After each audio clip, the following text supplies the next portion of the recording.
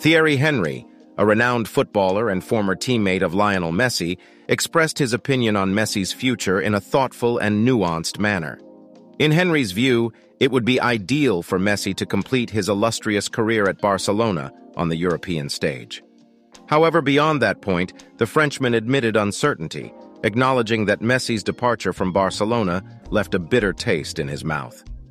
Henry's comments underscore the complex nature of Messi's relationship with his former club, Barcelona.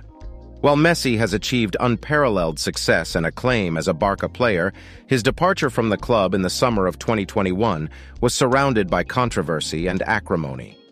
For many fans, Messi's departure represented the end of an era, one marked by consistent success and individual brilliance. Despite this uncertainty and tension, however, Henry expressed his desire to see Messi remain at Barcelona, to continue his legacy as one of the greatest players in the history of the sport. In doing so, Henry reflected the sentiments of millions of fans worldwide who remain in awe of Messi's skill and impact on the game.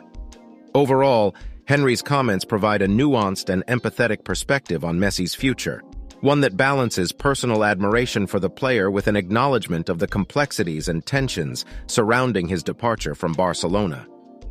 As Messi continues to explore new opportunities and challenges in his career, his legacy remains secure, thanks to his remarkable talent and his lasting impact on the game of football.